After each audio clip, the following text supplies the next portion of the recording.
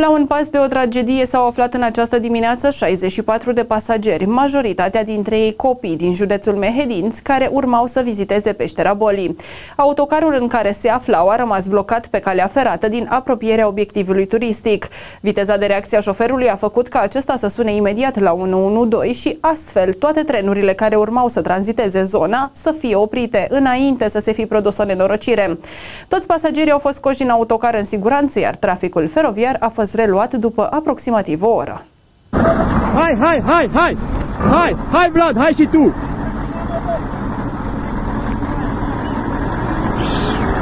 Gata! Hop, hop, hop, hop, hop! În această dimineață, cu puțin timp înainte de ora 10, un autocar cu 64 de turiști, copii și adulți, care venea din județul Mehedinți, în apropierea orașului Petroșan, pe drumul spre peștera Borii, la o trecere peste calea ferată, a rămas blocat pe șine. Copiii au coborât în siguranță din autocar și împreună cu însoțitorii au continuat și au vizitat peștera Borii. Conducătorul auto a sunat la 112, iar colegii din dispeceratul integrat au anunțat imediat regionala de căi ferate, care a oprit uh, alimentarea cu energie electrică a liniei. Pompierii au intervenit apoi pentru degajarea liniei ferate, trăgând autocarul cu un troliu.